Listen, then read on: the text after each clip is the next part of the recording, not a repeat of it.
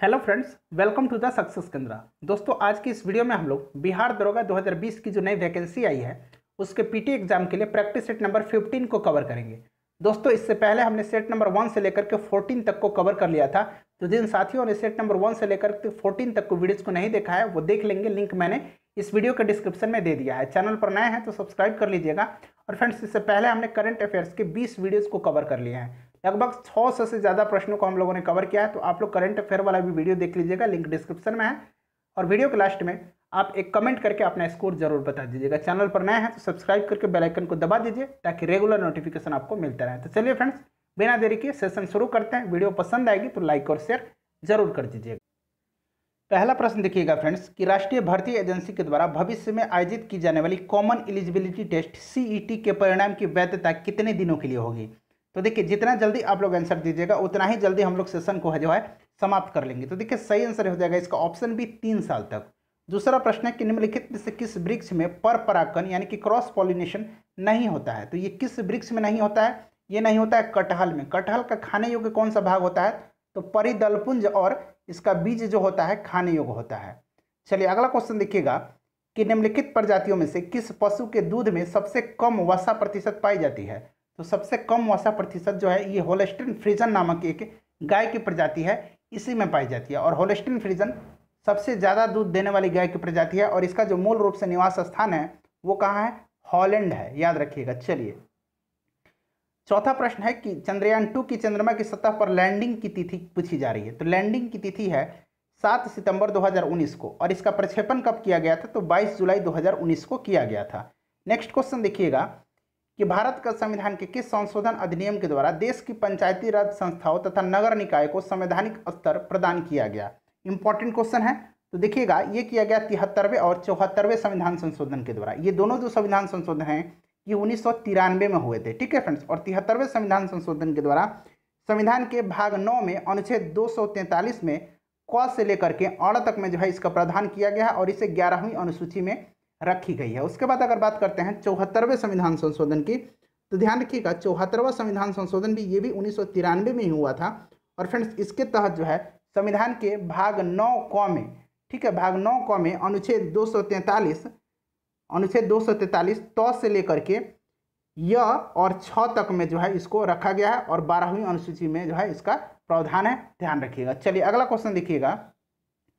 कि सरदार पटेल को सरदार की उपाधि किस आंदोलन के सफल नेतृत्व के बाद प्रदान की गई? तो ये किया गया है बारदोली सत्याग्रह के सफल नेतृत्व के बाद और बारदोली की महिलाओं ने सरदार को जो है, सरदार पटेल को सरदार की उपाधि प्रदान की थी। चलिए अगला क्वेश्चन देखिएगा।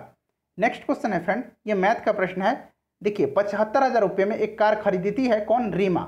और इसको रिपेयरिंग पर दस हज़ार का खर्च करती है। बाद में यह कार जो है चीरू को पंद्रह प्रतिशत के लाभ पर बेचती है। तो यहाँ से आप रीमा का सीपी निकाल लीजिए और रीमा का, माफ़ कीजिएगा एसपी निकाल लीजिए, जो विक्रय मूल्य है, जो रीमा का जो विक्रय मूल्य होगा, वह चीरू का क्रय मूल्य होगा। और चीरू जो है, फिर पंद्रह प्रतिशत के दस प्रतिशत के लाभ पर जो है, फिर से ऋतु को बेचती है। दूसरे एक लड़की है ऋतु को। तो ऋतु का जो क्रय मूल्य हो जाएगा, वो क्या हो जाएगा? हीरो का विक्रय मूल्य इस तरह से आप निकाल लीजिएगा, सही आंसर इसका हो जाएगा क्या? सात का ऑप्शन सी हो जाएगा। चलिए नेक्स्ट क्वेश्चन देखिएगा। नेक्स्ट क्वेश्चन फ्रेंड्स इंपॉर्टेंट है। इसी तरह के प्रश्न जो है, आपके एग्ज़ाम में पूछे जाते हैं। तो चलिए, क्वेश्चन पढ़िए कि जल का शुद्धिकरण किया जाता है। तो देखिए, जल का शुद्धिकरण जो है, ये किया जाता है क्लोरीन के द्वारा। अगला क्वेश्चन पढ़ेंगे कि यदि दूध में, दूध से क्रीम को अलग कर लिया जाए तो दूध का घनत्व क्या होगा? तो देखिए, दूध को, दूध में से जब क्रीम को अलग कर लिया जाता है तो दूध का घनत्व क्या होता है? बढ़ जाता है। ऑप्शन सी जो है, सही आंसर हो जाएगा। उसके बाद अगर बात करते हैं कि दूध में खट्टापन किसके कारण से होता है तो लैक्टिक अम्ल के कारण से होता है। दूध की शुद्धता कैसे मापी जाती है? तो लैक्टोमीटर से मापी जाती है। ठीक है फ्रेंड्स और जो हमारी मांसपेशियों में थकावट होती है, ये इसी लैक्टिक अम्ल के अधिकता के कारण से होती है। अगला क्वेश्चन पढ़िएगा कि आँसू, यानी कि टीयर्स में निम्नलिखित में से कौन सा एंजाइम पाया जाता है? तो ये कौन सा एंजाइम है? लाइजोजाइम पाया जाता है। नेक्स्ट क्वेश्चन मैथ का है। देखिए, एक ट्रेन है, किसी स्टेशन से 40 किलोमीटर पर आवर की स्पीड से खुलती है। उसके दो घंटे के बाद एक दूसरी ट्रेन उसी दिशा में जो है, खुलती है और चार घंटे में जो है, ये इस ट्रेन को पकड़ लेती है। तो दूसरी ट्रेन का आपसे गति पूछा जा रहा है। तो देखिए, कुछ नहीं करना है। देखिए, दो घंटे के बाद खुलती है और चार घंटे में पकड़ती है। तो टोटल छः घंटे तक में ये इस ट्रेन के पास पहुँचती है। ठीक है, तब तक ये छः किलोमीटर छः घंटे में कितना किलोमीटर चल जाएगा? दो सौ चालीस किलोमीटर ये चल चुका होगा। और ये 240 किलोमीटर जो ये ट्रेन है, कितने घंटे में पकड़ लेती है? देखिए, चार ही घंटे में इसको पकड़ लेती है। तो यहाँ से इसका स्पीड आपको नहीं निकाल लीजिएगा दो सौ चालीस बटा कितना हो जाएगा? चार हो जाएगा। तो कितना आ जाएगा? साठ किलोमीटर पर आवर। चलिए, अगला क्वेश्चन देखिएगा। कि एक देश, एक राशन कार्ड योजना कब शुरू होगी? ये हो चुकी है एक जून 2020 से। अगला क्वेश्चन देखिएगा फ्रेंड्स क्वेश्चन नंबर तेरह है कि अवसाद, जिसको कि डिप्रेशन कहा जाता है, कि प्रति जागरूकता के प्रचार प्रसार के लिए वर्ल्ड इकोनॉमिक फोरम के द्वारा किसे क्रिस्टल अवार्ड से सम्मानित किया गया? फ्रेंड्स ये सारे प्रश्न हम लोगों ने कवर कर लिया है। तो जिन लोगों ने, हमारा जो करंट अफेयर्स का टेस्ट था, नहीं देखे हैं तो देख लीजिएगा, हम लोगों ने एक से लेकर के बीस तक के करंट अफेयर्स के टेस्ट को कवर कर लिए थे। तो देखिए, सही आंसर होगा इसका। ऑप्शन भी दीपिका पादुकोण को दिया गया है मेंटल हेल्थ अवेयरनेस के लिए। नेक्स्ट क्वेश्चन देखिएगा, कि निम्नलिखित में से कौन सरोद का प्रमुख कलाकार है? तो सरोद के प्रमुख कलाकार हैं उस्ताद अमजद अली खान। अगर बात करें पंडित रविशंकर की तो पंडित रविशंकर जो हैं, ये किससे संबंधित हैं? ये सितार वादक हैं, उस्ताद अला रखा खान जो हैं, ये तबला वादक हैं, और पंडित शिव कुमार शर्मा जो हैं, ये संतूर वादक हैं। पाकिस्तान में कहाँ अवस्थित हज़ार साल पुराने शिवालय तेजा सिंह मंदिर को हाल ही में हिंदुओं के लिए खोला गया है। तो ये खोला गया है सियालकोट में। अगला क्वेश्चन देखिए, सौ गज, सौ वर्ग गज का क्षेत्रफल का अर्थ आपको वर्ग मीटर में निकालना है। तो आप लोग निकाल लीजिए, सही आंसर हो जाएगा इसका ऑप्शन है तिरासी दशमलव छः वर्ग किलोमीटर। निम्नलिखित में से किस राज्य की सीमाएँ जो है, पाकिस्तान के साथ नहीं लगती हैं? तो ये कौन सा राज्य है? यह है हिमाचल प्रदेश। ठीक है, पाकिस्तान के साथ कौन कौन से राज्य की सीमा लगती है? गुजरात की लगती है, राजस्थान की लगती है, पंजाब की लगती है और किस राज्य की लगती है? बताइए। और उसके बाद जम्मू कश्मीर की लगती है। ठीक है फ्रेंड्स चलिए नेक्स्ट क्वेश्चन देखिएगा। नेक्स्ट क्वेश्चन मैथ का है। इसको आप लोग सॉल्व कर लीजिएगा। सही आंसर इसका मैं बता दे रहा हूँ। अठारह का जो सही आंसर हो जाएगा ऑप्शन बी हो जाएगा पाँच घंटे पंद्रह मिनट। नेक्स्ट क्वेश्चन देखिएगा कि भारत के द्वारा जी सेट थर्टी एक उपग्रह है। इसका प्रक्षेपण किसके सहयोग से किया गया है? तो इसके इसके, किसके सहयोग से? एरियन स्पेस इसको कि यूरोपियन स्पेस एजेंसी कहा जाता है। इसी के सहयोग से किया गया है। फ्रेंच गुयाना से इसका जो है प्रक्षेपण किया गया। ध्यान रखिएगा। चलिए सुभाष चंद्र बोस किस छद्म नाम से कलकत्ता से काबुल पहुँचे थे? तो ये पहुँचे थे जियाउद्दीन के नाम से। इनका जन्म कहाँ हुआ था? तो उड़ीसा में कटक में हुआ था। ध्यान रखिएगा। चलिए नेक्स्ट क्वेश्चन देखिएगा ट्वेंटी वन नंबर कि निम्न में से किस देश ने 2019 में पहली बार विश्व कप क्रिकेट जीता है? तो ये जीता इंग्लैंड ने। किसको हराया था? न्यूजीलैंड को हराया था। अगला क्वेश्चन देखिएगा कि किस स्थान को समुद्रपुत कहते हैं? तो ये कहा जाता है गंगा सागर को। गंगा सागर कहाँ है? तो गंगा सागर जो है हुगली के निकट है। किसके निकट है? हुगली के निकट है। ध्यान रखिएगा। चलिए नेक्स्ट क्वेश्चन देखिए फ्रेंड्स कि निम्नलिखित में से कौन भूमध्य रेखा के निकटतम है? तो भूमध्य रेखा के निकटतम इनमें से जो है बृहद निकोबार, द्वीप समूह है। इंपॉर्टेंट है, याद रखना है। चलिए नेक्स्ट क्वेश्चन देखेंगे। क्वेश्चन नंबर ट्वेंटी फोर है, कि निम्नलिखित किस ग्रंथ ने गांधी जी को सर्वोदय के दर्शन का सूत्रपात करने के लिए प्रेरित किया था? तो ये कौन सा ग्रंथ किया था? ऑन टू दिस लास्ट ग्रंथ जो है, यही इनको जो है, प्रेरित किया था।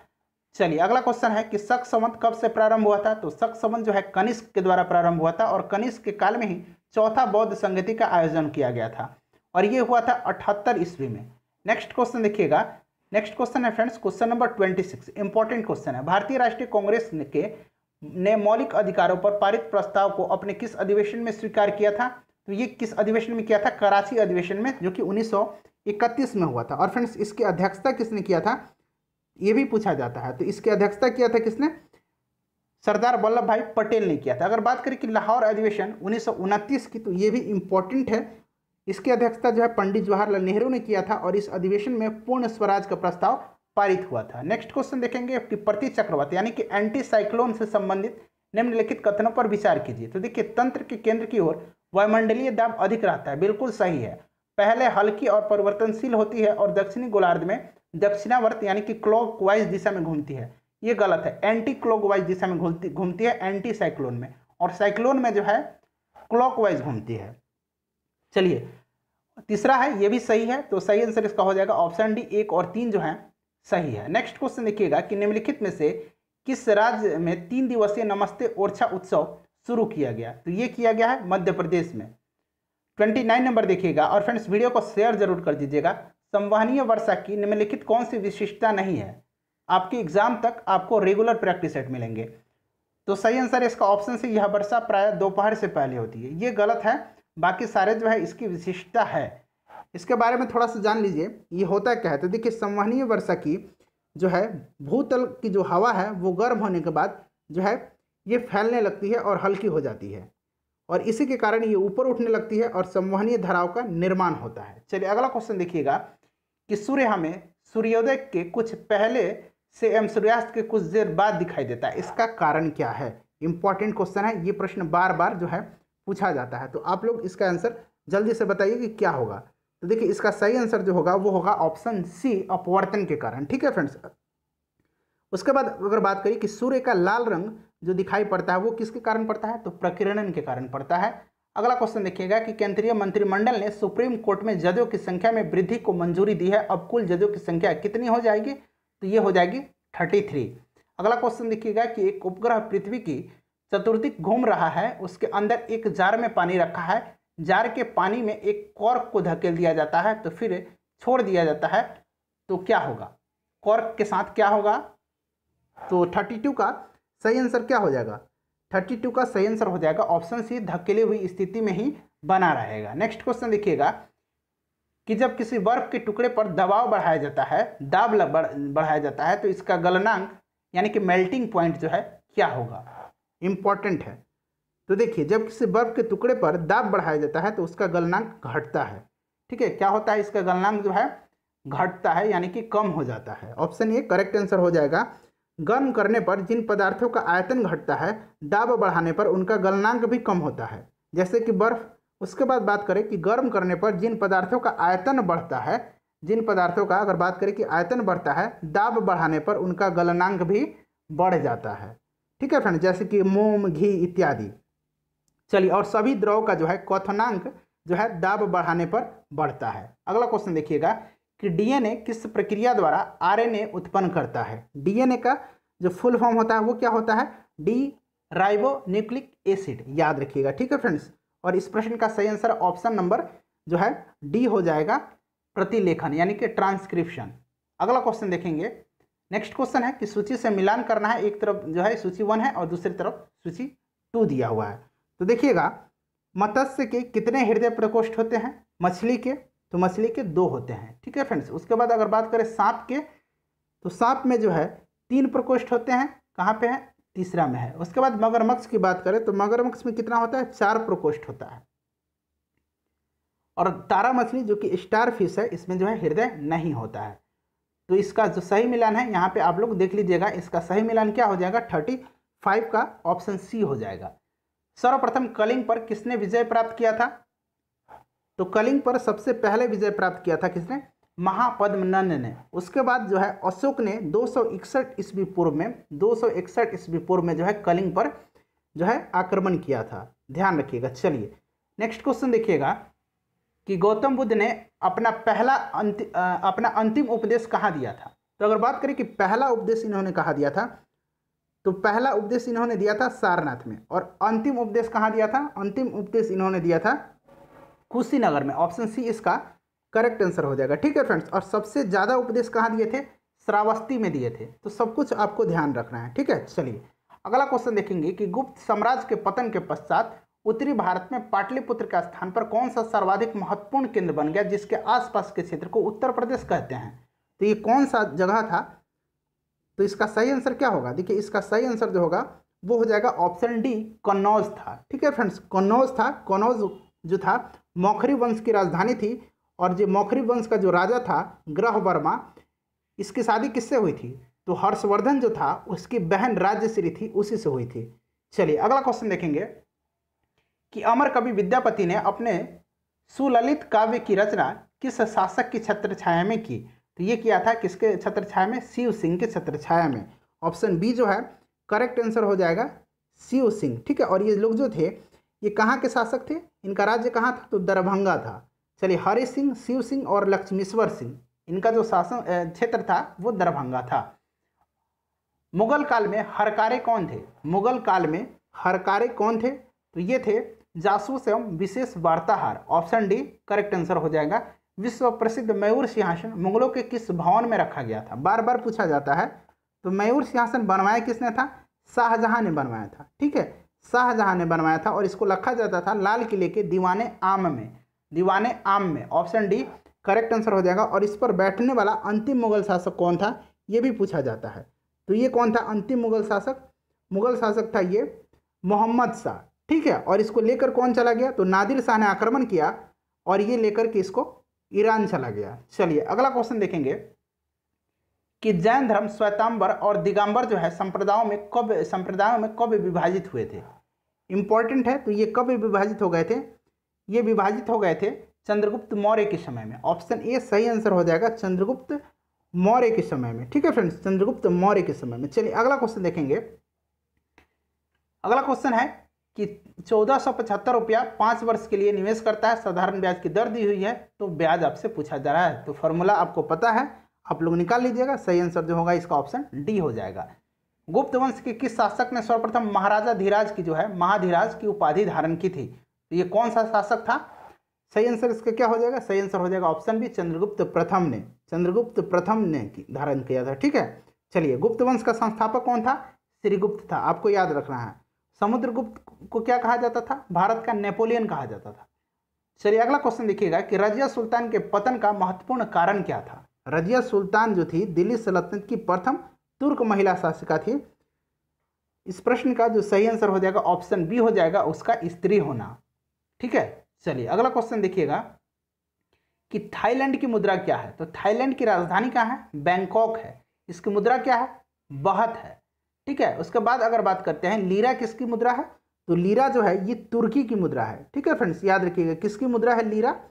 लीरा जो है, तुर्की की मुद्रा है। थाईलैंड की मुद्रा क्या है फ्रेंड्स थाईलैंड की जो मुद्रा, मैंने अभी बता दिया, बहत है।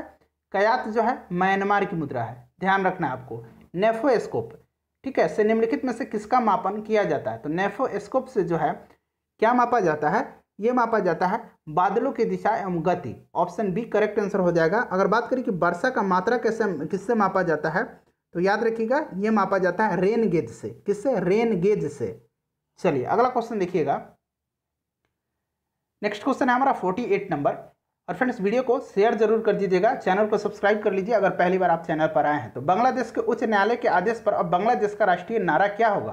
तो ये नारा हो जाएगा जॉय बांग्ला, ठीक है?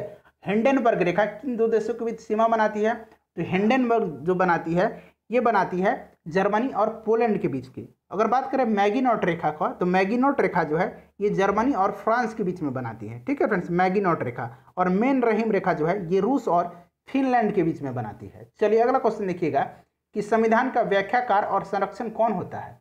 तो ये होता है भारत का सुप्रीम कोर्ट, सर्वोच्च न्यायालय। ऑप्शन डी जो होगा, सही आंसर हो जाएगा। ठीक है फ्रेंड्स ऑप्शन डी बिल्कुल करेक्ट आंसर हो जाएगा। अगला क्वेश्चन देखिएगा।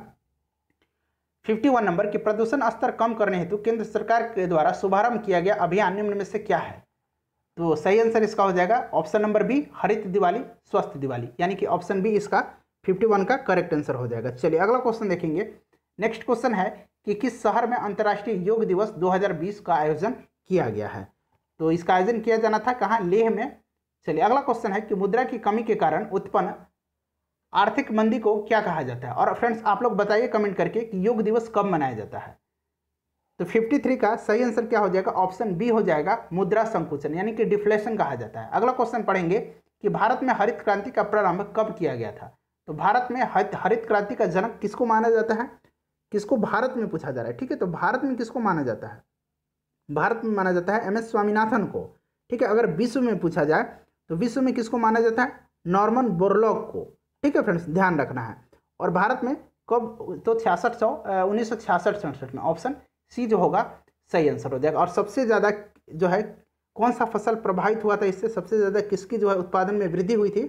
तो ये भी आपको ध्यान रखना है, ठीक है फ्रेंड्स ये हुआ था गेहूँ के उत्पादन में। चलिए, अगला क्वेश्चन पढ़ेंगे कि उच्च ऊंचाई वाले क्षेत्रों और पर्वतीय इलाकों में सटीक निगरानी रखने हेतु भारत को भारत नामक ड्रोन मिला है। यह किस संगठन के द्वारा विकसित किया गया है? इंपॉर्टेंट क्वेश्चन है तो ये किया गया है रक्षा अनुसंधान एवं विकास संगठन डीआरडीओ के द्वारा। और डीआरडीओ के प्रेजेंट में चेयरमैन कौन है? के सतीश रेड्डी हैं। जी सतीश रेड्डी हैं। के सतीश रेड्डी नहीं, जी सतीश रेड्डी हैं, ठीक है? के शिवन है, इसरो के चेयरमैन नेक्स्ट क्वेश्चन देखिएगा कि जुलाई 2020 में निम्न में से किस देश को विश्व व्यापार संगठन में पर्यवेक्षक का दर्जा दिया गया है? तो पर्यवेक्षक का दर्जा दिया गया है किसको? ये दिया गया है तुर्कमेनिस्तान को। मन की बात के अपने हालिया एपिसोड में प्रधानमंत्री मोदी ने किस नाम से एक वीडियो ब्लॉगिंग प्रतियोगिता की घोषणा की है? तो ये क्या है? My life my yoga option B जो है करेक्ट आंसर हो जाएगा। अगला क्वेश्चन देखेंगे कि राग भैरवी किस समय गाया जाता है? तो एक प्रकार का यह राग भैरवी जो है, कब गाया जाता है? ये राग है एक प्रकार का, ये प्रातः काल में जो है गाया जाता है। अगला क्वेश्चन देखिएगा कि अंतर्राष्ट्रीय बाघ दिवस हर वर्ष कब मनाया जाता है? तो इंटरनेशनल टाइगर डे जो है, ये मनाया जाता है उनतीस जुलाई को। वंदे भारत मिशन के तहत लौटने वाले नागरिकों के कौशल मानचित्र के संचालन के लिए संचार ने सरकार ने किस पहल की शुरुआत की है? तो ये क्या है? स्वदेश। ऑप्शन बी करेक्ट आंसर हो जाएगा। नेक्स्ट क्वेश्चन देखेंगे। Question number sixty one friends question number sixty one देखिएगा कि निम्नलिखित में से किस राज्य या केंद्र शासित प्रदेश ने सरकार के कर्मचारियों के लिए मेरा वतन ऐप लॉन्च किया है? तो ये किसने किया है? ये किया है जम्मू और कश्मीर केंद्र शासित प्रदेश ने। संयुक्त राष्ट्र संघ की आधिकारिक भाषा कौन सी है? तो संयुक्त राष्ट्र संघ के बारे में थोड़ा सा आप जान लीजिए। देखिए, इसकी जो भाषा है, अंग्रेज़ी है, फ्रेंच है, चीनी है रूसी, अरबी और स्पेनिश है। तो सही आंसर इसका ऑप्शन ए हो जाएगा। इसकी स्थापना कब हुई थी? तो 1945 में हुई थी 24 अक्टूबर के दिन में। ठीक है फ्रेंड्स, ध्यान रखिएगा 24 अक्टूबर के दिन हुई थी। और इसका मुख्यालय कहाँ है? न्यूयॉर्क में है। इसमें कुल कितने अंग हैं? छः अंग हैं। कौन कौन से हैं? तो महासभा, सुरक्षा परिषद, आर्थिक एवं सामाजिक परिषद। उसके बाद अगर बात करें तो प्रयास परिषद, ठीक है, प्रन्यास परिषद, जो एक न्यास परिषद होता है। अंतर्राष्ट्रीय न्यायालय और सचिवालय होता है। अंतर्राष्ट्रीय न्यायालय का मुख्यालय दहेग नीदरलैंड में है। नेक्स्ट क्वेश्चन देखिएगा कि यदि संसद की किसी विधेयक को राष्ट्रपति के पास भेजती है, संसद किस विधेयक को राष्ट्रपति के पास भेजती है तो संविधान के अनुसार राष्ट्रपति क्या कर सकते हैं? तो देखिए, राष्ट्रपति क्या कर सकते हैं? पुनर्विचार के लिए उसको वापस भेज सकते हैं। ऑप्शन डी, करेक्ट आंसर हो जाएगा। मूल अधिकारों पर क्या क्या प्रतिबंध लगा सकते हैं? मूल अधिकारों पर क्या क्या प्रतिबंध लगा सकते हैं? तो देखिए, मूल अधिकार किस अनुच्छेद में है? बारह से लेकर के पैंतीस तक में है। संविधान के भाग तीन में है। और इस प्रश्न का सही आंसर जो है, ऑप्शन बी हो जाएगा। ऑप्शन बी हो जाएगा, कुछ उद्देश्यों के लिए, राज्यों को कुछ युक्ति युक्त प्रतिबंध लगाने के लिए अनुमति प्रदान की जाती है। नेक्स्ट क्वेश्चन देखिएगा कि भारत का राजनीतिक युगमन, यानी कि इंटीग्रेशन किस बुद्धिजीवी का कमाल है?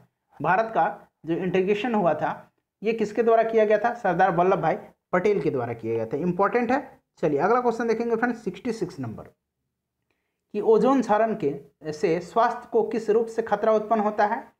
इंपॉर्टेंट है। तो बताइएगा, सही आंसर ऑप्शन सी संवेदन तंत्रीय उत्तेजन। ठीक है? सी एफ़ सी गैस जो है ओजोन परत का सबसे मेन रीजन है क्षरण का। चलिए, अगला क्वेश्चन देखिएगा। नेक्स्ट क्वेश्चन है कि निम्नलिखित में से किस भारतीय ने एशिया के लिए 2020 राष्ट्रमंडल लघु कथा पुरस्कार जीता है? इंपॉर्टेंट क्वेश्चन तो ये जीता है कृतिका पांडे ने। कृतिका पांडे, नाम याद रखना है आपको। ये क्वेश्चन मैं करा चुका हूँ। विश्व में सबसे बड़ी जो खाड़ी है, वो कौन सी है? सबसे बड़ी गल्फ जो है, ये कौन सी है? तो ये है मैक्सिको की खाड़ी। ऑप्शन ए करेक्ट आंसर हो जाएगा। ठीक है, और ये कहाँ है? उत्तरी अमेरिका में है, मैक्सिको की खाड़ी। चलिए, अगला क्वेश्चन देखिएगा। अगला क्वेश्चन है कि पोर्टलैंड सीमेंट के प्रमुख संगठनों में शामिल है। तो पोर्टलैंड सीमेंट के प्रमुख संगठन में जो शामिल है, वो क्या है? लाइम है, सिलिका है और एलुमिना है। ठीक है, अठारह ईस्वी में जो है, एक ब्रिटिश इंजीनियर जोसेफ एस्पीडन ने जो है सीमेंट की खोज की थी। जोसेफ एस्पीडन आपको नाम याद रखना है, पूछा जाता है कि सीमेंट की खोज किसने किया था? नेक्स्ट क्वेश्चन देखिएगा, इंसुलिन स्रावित होता है।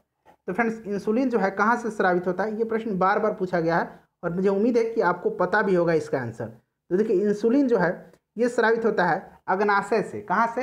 अग्नाशय से, यानी कि पैंक्रियाज से ये स्रावित होता है। और पैंक्रियाज के ये जो है लैंगर हैंस की बिट्टा कोशिका से जो है स्रावित होता है। चलिए अगला क्वेश्चन देखिएगा कि वर्ष 2020 की जनगणना के अनुसार सबसे कम लिंगानुपात किस राज्य का है? तो सबसे कम जो है हरियाणा का है, सबसे ज़्यादा जो है केरल का है। 72 नंबर देखिएगा। 72 नंबर है फ्रेंड्स, कि नंद वंश के पश्चात मगध पर किस राजवंश ने शासन किया? तो नंद वंश के आखिरी राजा था जो घनानंद, उसको चंद्रगुप्त मौर्य ने पराजित किया और मगध पर जो है मौर्य वंश की स्थापना की। बिहार में किस स्थान पर भारतीय राष्ट्रीय कांग्रेस का 1922 का अधिवेशन हुआ था? तो ये हुआ था गया में और इसकी अध्यक्षता किसने किया था? चितरंजन दास ने किया था। राज्य रोहन समारोह की विस्तृत विवरण इनमें से किसमें मिलता है? 74 का, बताइएगा, सही आंसर क्या होगा? सही आंसर इसका हो जाएगा ऑप्शन नंबर ए हो जाएगा अथर्ववेद में। ठीक है फ्रेंड्स अथर्ववेद की रचना किसने किया है? अथर्वा ऋषि ने किया है। ठीक है, चलिए, अगला क्वेश्चन देखिएगा कि पारावैग्निक किरणों को सर्वप्रथम किसने देखा था? तो पारावैग्निक किरणों को देखा था रिटर्न ने। किसने देखा था? रिटर ने देखा था। याद रखना है, बार बार पूछा जाता है। ठीक है इंपॉर्टेंट है। अगला क्वेश्चन देखिए, अगर बात करें कि औरत किरण की खोज किसने किया था? औरत विकिरण की खोज तो हर्षल ने किया था। ये भी आपको ध्यान रखना है। चलिए नेक्स्ट क्वेश्चन है कि बायोप्सी क्या है? बायोप्सी क्या है? बायोप्सी क्या है फ्रेंड्स बताइएगा जल्दी। बायोप्सी क्या है? तो बायोप्सी क्या है? कोशिका और उत्तकों के प्रयता से एक चिकित्सीय निदान तकनीक। तो सही आंसर इसका क्या हो जाएगा? ऑप्शन डी हो जाएगा। हमारा राष्ट्रीय गान प्रथम बार जो है कब और कहाँ गाया गया था? तो राष्ट्रीय गान और राष्ट्रीय गीत। कन्फ्यूज़न है आपको क्या? तो देखिए, राष्ट्रीय गान कौन सा है? जन गण मन है। ठीक है? देखिए, इसमें जन गण गान और गण तो गान और गण रिलेट कीजिएगा। जन गण मन में जन गण गण और इसमें भी गान पूछा जाए राष्ट्रीय गान। तो इस तरह से रिलेट कीजिएगा कन्फ्यूज़न दूर हो जाएगा। उसके बाद जो बच गया, राष्ट्रगान कौन सा है? जनगण मन हो गया और गीत कौन सा है? वंदे मातरम है। ठीक है फ्रेंड्स तो ये कब गाया गया था? ये 27 दिसंबर 1911 को कलकत्ता अधिवेशन में जो है गाया गया था। अगर आगे बात करते हैं कि जो हमारा वंदे मातरम है, ये कब गाया गया था? तो ये गाया गया था अठारह सौ छियानवे के कलकत्ता अधिवेशन में ही, ठीक है? चलिए, अगला क्वेश्चन देखिएगा। नेक्स्ट क्वेश्चन है कि निम्नलिखित में से कौन राष्ट्रीय विकास परिषद का सदस्य नहीं होता है? इंपॉर्टेंट क्वेश्चन है। देखिए, राष्ट्रीय विकास परिषद की स्थापना जो है 15 मार्च 1950 को हुई थी। याद रखिएगा, ठीक है? और इसका जो अध्यक्ष होता है, वो कौन होता है? भारत का प्रधानमंत्री होता है। और इसमें जो है, भारत के उपराष्ट्रपति इसके सदस्य भारत के राष्ट्रपति इसके सदस्य नहीं होते हैं। संगीत नाटक अकादमी देश में नृत्य नाटक एवं संगीत के विकास का संवर्धन करती है। इसकी स्थापना किस वर्ष हुई थी? तो सही आंसर इसका क्या हो जाएगा? इसकी स्थापना जो है, कब हुई है? सेवेंटी नाइन का सही आंसर बताइएगा। ऑप्शन बी हो जाएगा उन्नीस सौ तिरपन में। निम्नलिखित में से कौन विटामिन बी कॉम्प्लेक्स का समूह से संबद्ध नहीं है? तो एस्कॉर्बिक एसिड जो है, ये विटामिन सी का रासायनिक नाम है तो ये बी कॉम्प्लेक्स से संबंधित नहीं है। नेक्स्ट क्वेश्चन देखिए। किस देश की सीमा बिहार से जुड़ती है? तो बिहार से जुड़ती है नेपाल की सीमा। अगला क्वेश्चन देखिएगा कि प्रथम उपदेश देते समय बुद्ध मूर्ति के हाथों द्वारा संकेतित मुद्रा कहलाती है। तो सही आंसर इसका क्या हो जाएगा? सही आंसर हो जाएगा ऑप्शन नंबर बी धर्मचक्र परिवर्तन मुद्रा कहलाती है। बिहार के किस प्रकार में बिहार में किस प्रकार के वनों की अधिकता है? तो बिहार में जो है, शुष्क पर्णपाती वन की जो है विशेषता है। त्रिपुरी कांग्रेस में सुभाष चंद्र बोस के त्यागपत्र के बाद कांग्रेस का अध्यक्ष कौन बना था?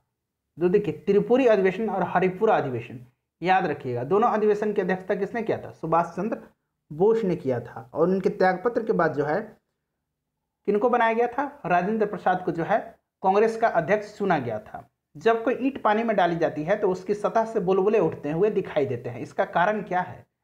इसके कारण क्या है फ्रेंड्स इसके कारण है कि ईंट के द्वारा विस्थापित हवा। नेक्स्ट क्वेश्चन देखिएगा। नेक्स्ट क्वेश्चन है हमारा 86 नंबर फ्रेंड्स वीडियो को लाइक कर दीजिए और एक शेयर ज़रूर कर दीजिएगा। डीएनए फिंगर प्रिंटिंग के आविष्कारक प्रोफेसर एलेक्स जेफरिन कहाँ के निवासी थे? इंपॉर्टेंट है? तो ये हैं ग्रेट ब्रिटेन के। अगला क्वेश्चन देखिएगा। अगला क्वेश्चन फ्रेंड्स इंपॉर्टेंट है। जब भी आप वीडियो को देखिए, ध्यानपूर्वक देखिए और कोशिश कीजिए कि आपका एक भी प्रश्न जो है, गलत ना हो। सारे प्रश्न को जो है खुद से आंसर देने का प्रयास कीजिएगा। क्वेश्चन नंबर एटी सेवन है कि विष के रूप में साइनाइड की क्रिया प्रत्यक्षता किसको प्रभावित करती है? तो ये किसको प्रभावित करती है, ये आपसे पूछा जा रहा है। तो किसको प्रभावित करती है, बताइएगा। ये जो है, प्रभावित करती है रक्त में ऑक्सीजन की स्वरूपता को अगला क्वेश्चन देखिएगा कि मध्य प्रदेश में बैंक नोट छापने वाला कागज़ बनाया जाता है। कहाँ पे बनाया जाता है? तो ये कहाँ पे बनाया जाता है? ये बनाया जाता है होशंगाबाद में। ऑप्शन सी जो है, सही आंसर हो जाएगा। ठीक है सिक्योरिटीज प्रिंटिंग प्रेस कहाँ पे है? हैदराबाद में है। इंडिया सिक्योरिटी प्रेस नासिक में है। याद रखिएगा। और नेपा नगर में जो है, अखबारी कागज़ का मिल है। चलिए अगला क्वेश्चन देखिएगा कि मिट्टी के तेल के लैंप की बत्ती में तेल चढ़ने का कारण क्या है? तो केसिकत्व है। निम्नलिखित में से सबसे कम तरंग दंड वाला विकरण कौन सा है? तो सही आंसर है इसका ऑप्शन नंबर ए एक्स किरण का जो तरंग दैर्घ्य है, बाकी इसमें सबसे कम होता है। इसका जो तरंग दर्ज का परिसर होता है वो ten to the power minus ten metre से लेकर के ten to the power minus आठ मीटर तक का होता है।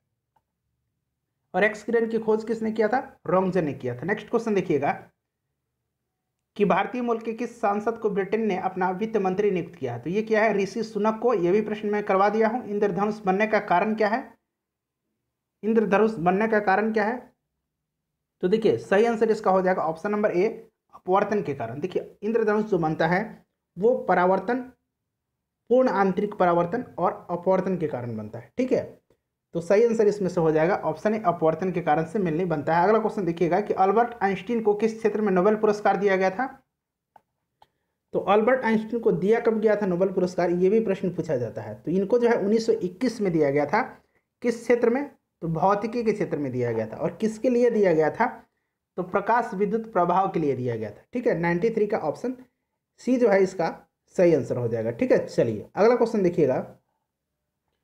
नेक्स्ट क्वेश्चन फ्रेंड्स देखेंगे। नेक्स्ट क्वेश्चन है कि पानी के अंदर गोताखोर सांस लेने के लिए प्रयोग करते हैं। तो ये लोग क्या लेकर जाते हैं? कौन सा जो है सिलेंडर ये ऑक्सीजन और हीलियम के मिश्रण जो है, इसका यूज़ करते हैं। किस एस से मैडम क्यूरी ने रेडियम प्राप्त किया था? तो ये किया था पीच ब्लैंड से। ऑप्शन ए सही आंसर हो जाएगा। इंपॉर्टेंट है, याद रखिएगा, पीच ब्लैंड से जो है, किया जाता है। अगला क्वेश्चन देखिएगा। कि राष्ट्रीय युवा दिवस कब मनाया जाता है? तो राष्ट्रीय युवा दिवस, ये मनाया जाता है कब? 12 जनवरी को इंपॉर्टेंट है 12 जनवरी को मनाया जाता है। इंपॉर्टेंट है, ध्यान रखिएगा। चलिए, अगला क्वेश्चन देखेंगे फ्रेंड्स और किसके जन्मदिन के अवसर पर मनाया जाता है? तो स्वामी विवेकानंद के जन्मदिन के अवसर पर मनाया जाता है। 97 नंबर देखिए फ्रेंड्स मैथ का प्रश्न है। देखिए, रोहन और रोहित जो है एक साथ किसी काम को 10 दिन में समाप्त कर देते हैं, जबकि रोहन जो है उसी काम को 15 दिनों में करता है। तो रोहित अकेला किसी काम को कितने दिनों में करेगा? उसी काम को। तो देखिए कुछ नहीं करना है एक बटा दस इसको ले लीजिए उलट दीजिएगा और इसको एक बटा पंद्रह इसमें से घटा दीजिएगा तो आ जाएगा कितना? एक बटा तीस आ जाएगा सॉल्व कीजिएगा तो, तो सही आंसर कितना हो जाएगा? तीस दिन हो जाएगा। क्लोरोफॉर्म को हवा तथा सूर्य के प्रकाश में रखने पर क्या प्राप्त होता है? तो ये प्राप्त क्या होता है? ये होता है फॉस्जिन। याद रखिएगा फॉस्जिन प्राप्त होता है। फॉस्जिन का रासायनिक नाम क्या है? कार्बोनिक क्लोराइड होता है। इसका रासायनिक सूत्र क्या होता है? सी ओ सी एल टू होता है। ठीक है सी ओ सी एल टू होता है। चलिए अगला क्वेश्चन देखेंगे। अगला क्वेश्चन है फ्रेंड्स कि फिच रेटिंग ने स्थिर से नकारात्मक के लिए भारत के दीर्घकालिक विदेशी मुद्रा जारीकर्ता डिफ़ॉल्ट रेटिंग पर आउटलुक को संशोधित किया है और भारत को कौन सी रेटिंग अब प्रदान किया है? तो ये किया है, कौन सा रेटिंग ये किया है ट्रिपल बी रेटिंग ठीक है, ये एक रेटिंग एजेंसी है फ़िश रेटिंग्स सौ नंबर देखिए कि निम्नलिखित में से किस विटामिन की कमी से जनन क्षमता कम होती है। फ्रेंड्स ये क्वेश्चन मैं कई बार आपको बताया हूँ। इसका आंसर आप लोग कमेंट करके बताइएगा और वीडियो कैसी लगी है, ये भी बताइएगा और जितने भी प्रैक्टिस सेट हैं, इससे पहले वाले एक से लेकर के चौदह तक को सबको देख लीजिएगा। अपना ख्याल रखिएगा। पीडीएफ आपको मिल जाएँगे। मिलते हैं नेक्स्ट वीडियो में। Thanks for watching